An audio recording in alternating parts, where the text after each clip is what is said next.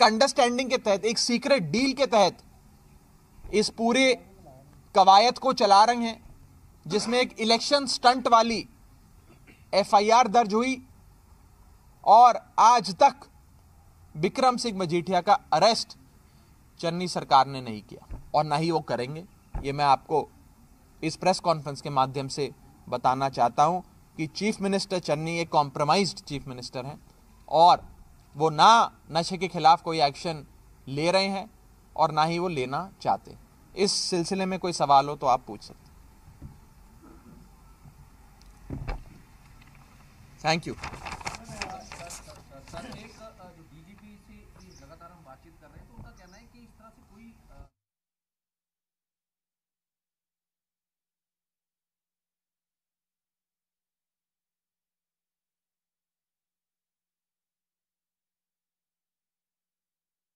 खुलेआम घूम रहे हैं अरेस्ट क्यों नहीं हुआ? लुकआउट नोटिस का क्या मतलब होता है? फ़ोटो के लिए भी बात कह रहे हैं कि फ़ोटो जो है वो पुरानी पिक्स है और अकाली जो है उसको गुमराह करने के लिए या फिर इस तरह लुकआउट नोटिस जारी हो गया। अक्यूज खुलेआम घूम रहा है। अक्यूज की एंटिसिपेटरी बेल रिजेक्ट हो जाती है। लेकिन पंजाब पुलिस पकड़ नहीं पाती। अगर सूबे की पुलिस चाहे तो मंदिर के बाहर से चप्पल भी चोरी नहीं हो सकती। लेकिन सूबे की पुलिस गिरफ़्तार नहीं करना चाहती बिक्रम सिंह मजीठिया को। विक्रम सिंह मजीठिया को इसलिए गिरफ़्तार नहीं करना चाहती क्योंकि चन्नी साहब की डील हो गई है इनके साथ। और ये एक बड़े सीनियर पुलिस अफसर ने हमें बताया है कि चन्नी साहब ने अपनी पुलिस फोर्स को ये इंस्ट्रक्शंस दिए हैं कि गिरफ्तारी नहीं होनी चाहिए। एफआईआर करो, सियासी फ़ायदा मैं लूँगा बड़े बड़े इश्तेहार दूँगा, लोगों को बेवकूफ़ बनाने की कोशिश करूँगा, लेकिन गिरफ्तारी नहीं होनी चाहिए। ये उन्होंने खुद कहा। देखिए, साफ़ तो- फिर भी गिरफ्तारी नहीं हो रही। फिर भी गिरफ्तारी नहीं हो रही। बता रहे हैं कि मजीठिया अपने हलके में बता रहे हैं कि वो श्री हरमंदर साहब जाकर मत्था टेक रहे हैं सरेआम घूम रहे हैं पंजाब में, लेकिन पंजाब पुलिस नहीं पकड़ती। एंटीसिपेटरी बेल रिजेक्ट हो जाने के बाद भी नहीं पकड़ती।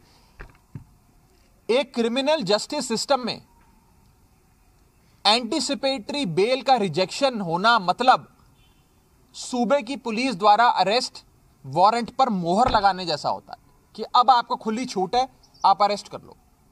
फिर भी पुलिस सूबे की गिरफ़्तार नहीं करती।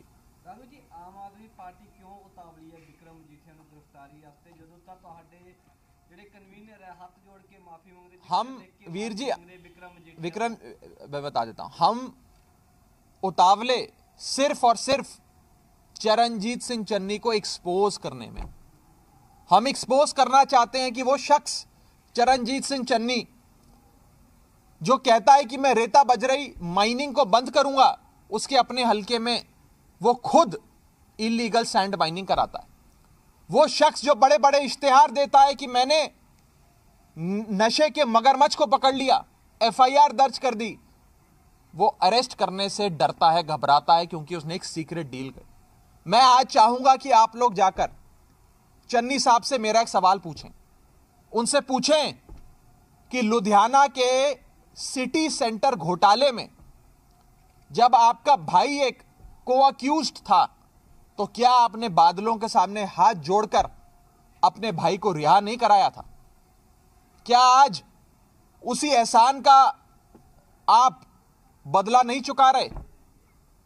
क्या इनकी पुरानी डील नहीं है? यह सवाल आप चरणजीत सिंह चन्नी साहब से जाकर पूछेगा लेकिन जिस तरीके ने भी सवाल पूछा है कि आम आदमी पार्टी के परसों राणा गुरजीत ने भी यही statement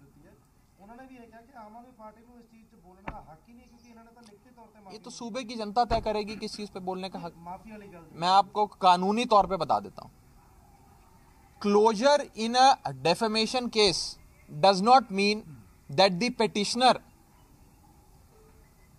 is innocent does not mean कि जो याचिका करता है जिसने पिटिशन फ़ाइल करी मानानी के मुकदमे में वो बाइज्जत बरी हो गया। वो एक लिमिटेड डेफेमेशन का मामला होता। कौन शख्स चाहेगा कि 40 केस डेफेमेशन के अपने सर पे लेकर हिंदुस्तान की 50 अदालतों में रोज चक्कर मारे? सब चाहेंगे यार गलनू मुकाइए खत्म करिए। दबाव कौन कह रहा है दबाव? ये तो आपके वर्ड्स हैं। हमारे तो कोई वर्ड्स नहीं है। आपका इंटरप्रिटेशन हो सकता है हमारा नहीं। है बिल्कुल बिल्कुल नहीं डरते। इसीलिए आज नशे की बात सिर्फ़ आम आदमी पार्टी करती है और मैं आपको यह विश्वास दिलाना चाहता हूँ कि जब आम आदमी पार्टी की सरकार सूबे में बनेगी तो पहली चीज़ हम नशे के व्यापार को बंद करेंगे। हमारे सूबे के जो नौजवान नशे के शिकार हैं, उन्हें रिहेबिलिटेट करेंगे, उन्हें अपने हाल पे नहीं छोड़ेंगे, उनका हाथ पकड़ के उसे इस नशे के दलदल से निकालेंगे, ठीक करेंगे और नशे के बड़े बड़े सौदागरों को मगरमच्छों को हम पकड़ेंगे जेल की सलाखों के पीछे डालेंगे।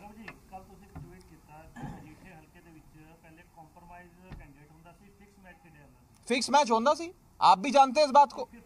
ना बता देता हूँ मैंने क्यों कहा। ना रैली होती है ना पैसा लगाया जाता है ना पार्टी का कोई सपोर्ट होता है और एक अंडरस्टैंडिंग के तहत पूरी ऑर्गेनाइजेशन को बोल दिया जाता है।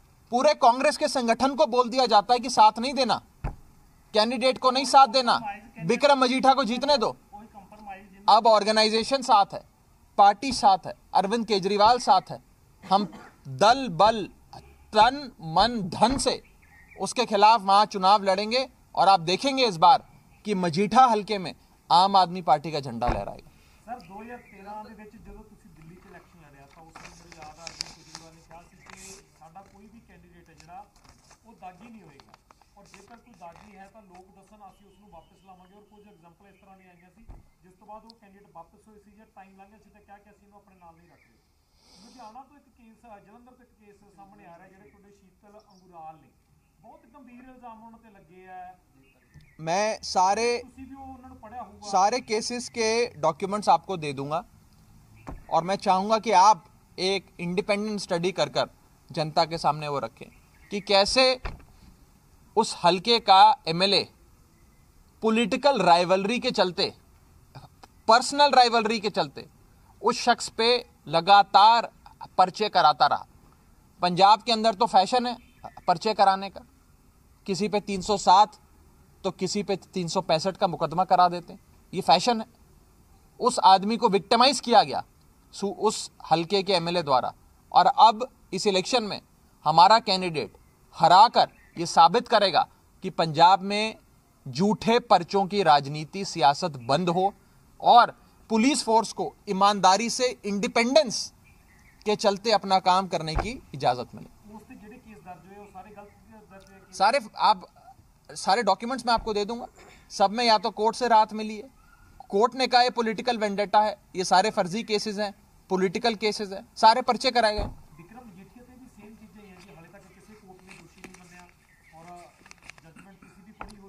ईडी ईडी के डॉक्यूमेंट्स भी आपने पढ़े। एसटीएफ की रिपोर्ट सबके पास है, कोई खोलता नहीं है। बड़े बड़े अक्यूज के बयानों में नेताओं के नाम आए। एफ़ आई आर दर्ज हुई। N D P S act में एफ़ आई आर दर्ज हुई। आई पी सी की कोई धारा नहीं N D P S act की धाराएँ लगी हैं, लेकिन गिरफ्तारी नहीं होती। आज हो ही नहीं रहे। मैं तो कह रहा हूँ, अरेस्ट झूठे नहीं। मैं कहता हूँ, कमज़ोर। फ़र्क है इसमें। झूठी एफ़ आई आर और कमज़ोर एफ़ आई आर में। ये कमज़ोर एफ़ आई आर है। इसको भी और मज़बूत किया जा सकता था। लेकिन अब तो सारा खेल खुल गया ना। अरेस्ट ही नहीं करना। अरेस्ट करने की इच्छा ही नहीं है। अब चन्नी साहब से मेरे कहने पे ये सवाल आप लोग ज़रूर पूछेगा कि सिटी सेंटर घोटाले में क्या चन्नी साहब अपने भाई को छुड़ाने के लिए बादलों के सामने गिड़गिड़ाए थे कि नहीं गिड़गिड़ाए थे? और आज आज सुखबीर सिंह बादल के साथ चन्नी साहब की सीक्रेट डील हुई है कि नहीं हुई है? चन्नी साहब, आम आदमी पार्टी के सवाल का जवाब दे, मैं चाहूँगा।